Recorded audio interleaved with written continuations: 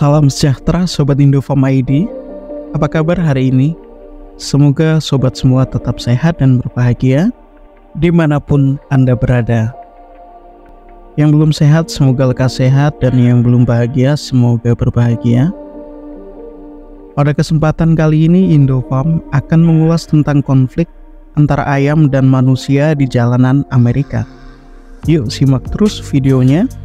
Hanya di Indofarm ID.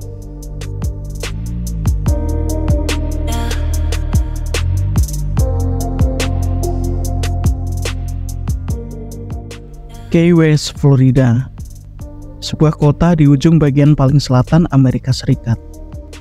Di tempat ini ayam-ayam bebas berkeliaran di jalanan, di gang-gang kecil, perumahan, hingga pusat kota. Bahkan, kadang-kadang ayam juga berkeliaran di tempat bisnis seperti hotel, kafe, atau restoran. Ayam jantan, induk ayam, dan anak ayam kecil banyak berkeliaran di jalanan kota yang warna-warni ini. Mereka ada di mana-mana. Penduduk setempat menyebut mereka sebagai ayam gipsy. Ya, betul sekali. Kewes punya masalah dengan ayam liar. Ayam-ayam liar ini berkeliaran di mana-mana, masuk pekarangan warga, merusak taman dan kebun, rusak bunga penduduk, berkokok kencang sepanjang hari. Terkadang ayam jantan yang agresif juga menyerang warga, dan yang paling parah, adalah saat ayam-ayam ini berak sembarangan. Kotoran mereka yang bau berserakan di mana-mana dan menyebarkan berbagai penyakit. Tapi, dari mana asal ayam-ayam ini? Mengapa mereka bebas berkeliaran di jalanan? Dan mengapa populasi mereka begitu banyak? Ayam yang ditemukan di West ini merupakan keturunan ayam hutan merah yang biasa ditemukan di seluruh Karibia, termasuk Kuba. Para pemukim awal di Key West awalnya memiliki hubungan yang baik dengan para ayam. Ayam-ayam ini dulu dirawat dan dipelihara sebagai sumber makanan.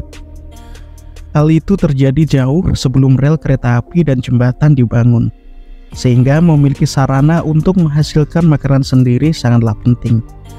Ketika jembatan dan rel kereta api telah dibangun, dan Key West mulai terhubung dengan daratan utama, kebutuhan untuk memelihara makanan sendiri menjadi semakin berkurang, dan banyak ayam yang dilepaskan atau kabur melarikan diri.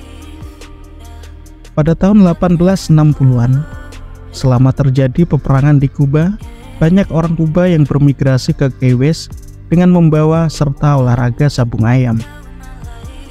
Olahraga sabung ayam ini kemudian berkembang pesat di Key West hingga dilarang pada akhir tahun 1970-an. Setelah sabung ayam ilegal, arena menjadi sepi dan ribuan ayam jago kemudian tidak lagi diperlukan. Banyak warga yang membiarkan ayam jago kesayangan mereka lepas pergi begitu saja dan meninggalkan mereka liar sendirian di jalanan. Pada tahun 2004, populasi ayam meledak dan bertambah besar sehingga kota Key West menyewa para penangkap ayam untuk mencoba mengurangi jumlah populasi liar mereka. Tindakan tersebut membuat penduduk setempat terpecah belah antara yang pro pembasmian ayam dan para warga pecinta ayam. Karena kontroversial, banyak warga yang marah sehingga penangkapan dan pembasmian ayam akhirnya berhenti.